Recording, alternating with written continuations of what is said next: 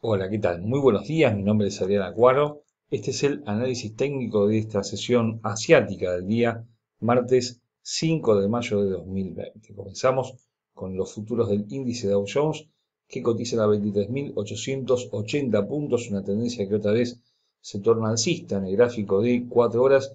El precio cubrió el gap que había dejado en el inicio de la sesión asiática del lunes y busca ahora las zonas de 24.090 24.420, 24.650 puntos. A la baja, 23.705, 23.330 y los mínimos del día 21 de abril en 22.950 puntos. Los indicadores con señales moderadamente alcistas no logran superar su 50% tanto momento como RSI, en caso de momento su línea media, y el estocástico que ya brinda señales de agotamiento en su movimiento alcista medido con Fibonacci el último movimiento a la baja, tenemos justamente aquí un 38.2% de dicha baja y un 61.8% aparece lejos en la zona de 24.320 puntos. En tanto, el Standard Poor's 500 cotiza a 2.851 puntos, también con una tendencia alcista que intenta ahora eh, confirmar el precio con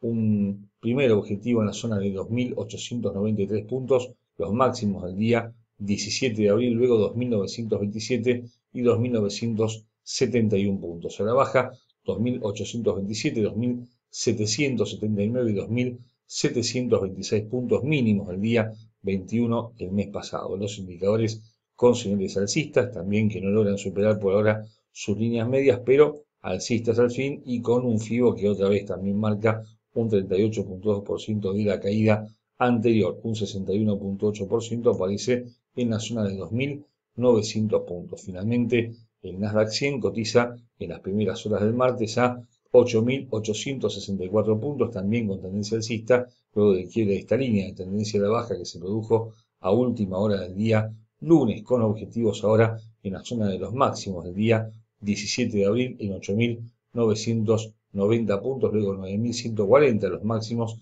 del día 30 de abril y 9.200 87 puntos. A la baja, 8.722, 8.562 puntos los mínimos del día lunes y más abajo los lunes, los lunes no, los mínimos del día 21 de abril en 8.343 puntos. En este caso, las señales de los indicadores apuntan con más decisión al alza, lo cual podría estar anticipando ganancias adicionales para el índice durante la sesión europea y americana del día de hoy. Señores, como siempre tengan todos una excelente jornada de operaciones. Nos vemos mañana miércoles.